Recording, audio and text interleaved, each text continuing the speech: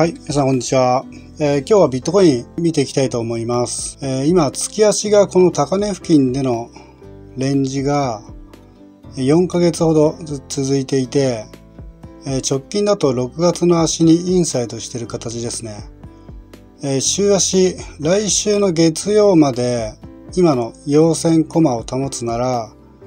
今陽線アウトサイドしてる先週の陰線コマの高値で溜まってるショートのロス狩りも巻き込んで、上昇ブレイクしていくと考えてます。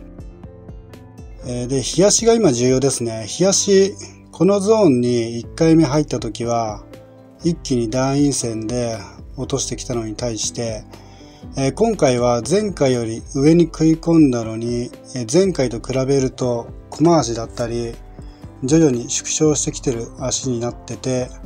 えー、下落の弱さが出てきてると思います。今日の足がしっかり陽線でネックラインに乗れるかが重要になってくると思いますね。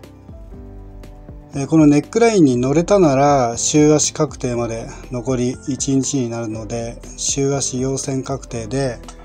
上昇転換していきやすくなると思います。先週と今週合わせると今の時点で下髭の長さが約500ドル幅なんですけど連続小回しなので日足で今日ネックラインサポートで止まるなら前回より下落が弱かったこともあって上髭否定して上昇転換していく可能性は高くなると思いますね。今日が陰線でネックライン割るなら2万9000ドルの上昇トレンドまでの下落は見ておくといいと思います。今までの上昇ラインですね。で本格上昇はやっぱりこの上昇ラインまでぶつからないと多くの買いも誘えないと思うので8月末までは今の状況だとこの逆三尊のレンジの中で持ち合う流れになりそうですね。週足でどっかえー、でかい大陽線出してくれればレンジの方向性も明確になって一気に動いてくれるとは思うんですけど、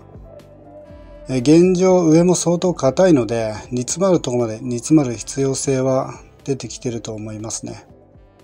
はい、今回ちょっと短いんですが、えー、以上になります。ご視聴ありがとうございました。私がお勧めする海外取引所は取引所トークンとレンディングサービスがある取引所になります。ビットゲットでは BGB トークン、MEXC では MX トークン、バイビットではバイビット出資の分散型取引所 APEX、FTX のような人災は起こらないので、中央集権の取引所が心配な方は使ってみてください。メタマスクにつなぐだけで使うことができます。国内取引所では OK コインジャパンとコインチェック、口座開設で1000円相当のボーナスがついています。Twitter では相場状況についてツイートや Discord、YouTube メンバーシップの方では意識される LINE、ポジション公開や重要動画を配信しているのでよかったら入ってみてください。各 SNS は動画概要欄から見ることができます。ご視聴ありがとうございました。